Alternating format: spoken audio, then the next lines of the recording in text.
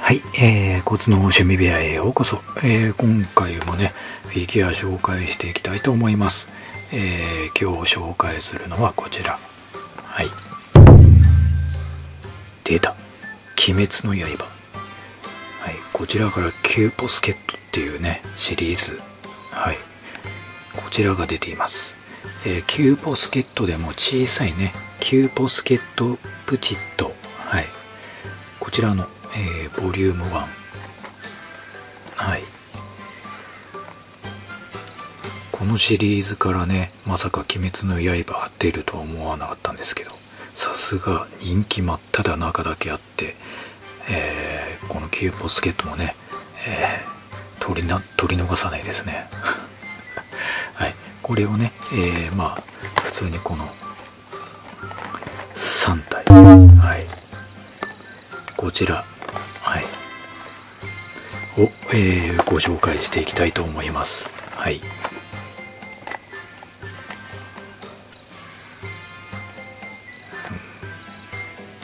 禰豆子がねすごい可愛い可哀そう。はい。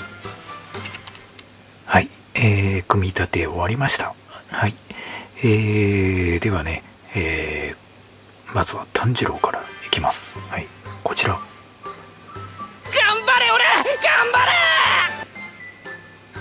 いいね。この小さいんだけどほんとこのシリーズはクオリティが高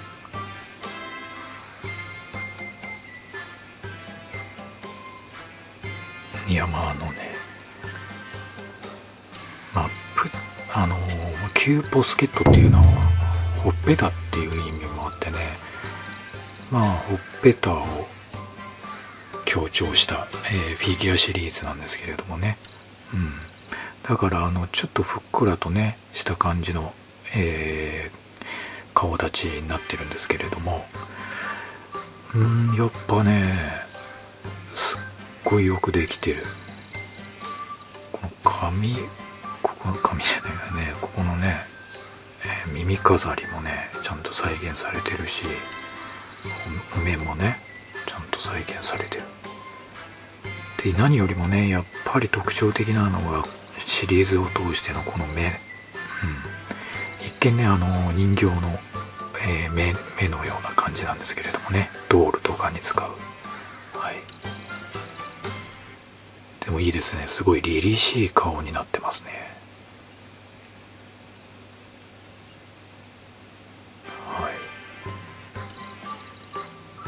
ごい細かいところまでちゃんとねあの手抜きをせず作られてるんですよね。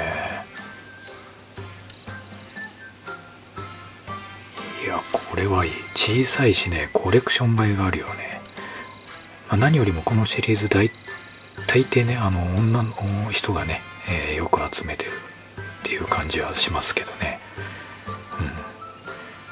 まあでもねこの「鬼滅」はねもう老若男女問わずはい。えー好きだと思うんでね、えーこれはこ集めがいがあるな。小さいからかさばらないしね。大きいキューポスケットでも出てますね「鬼滅の刃」はね。はい。で、えー続いてえー、吾妻善逸。はい。こちら。霹靂一閃。れに関してはもうね善逸がもう可愛くなりすぎちゃってるっていうね。もうもやちょっとね女の子化しちゃってるよね。女子化しちゃってる感じ。目がめっちゃでかいし。まあでもねこの型がいいよね。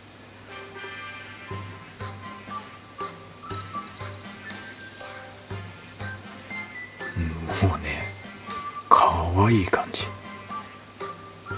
ほんと女の子っぽい感じだね。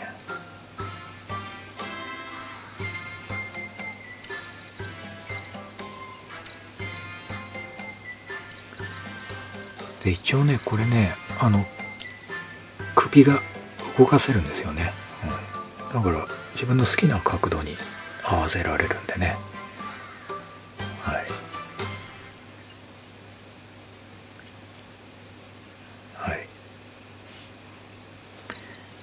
で、えー、ここでね、えー、我らが禰豆子。はい。禰豆子ちゃんこちら。はい。これに至ってはね台座にダボ穴がないんですよ。はい。なぜかというとねもうすでに座ってるんですね。だからダボ穴がないんですよ。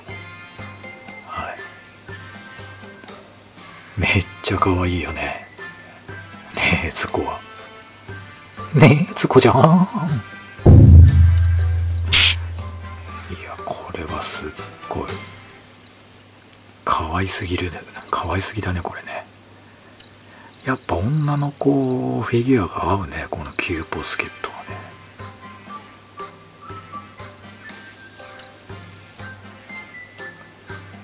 いや素晴らしいね。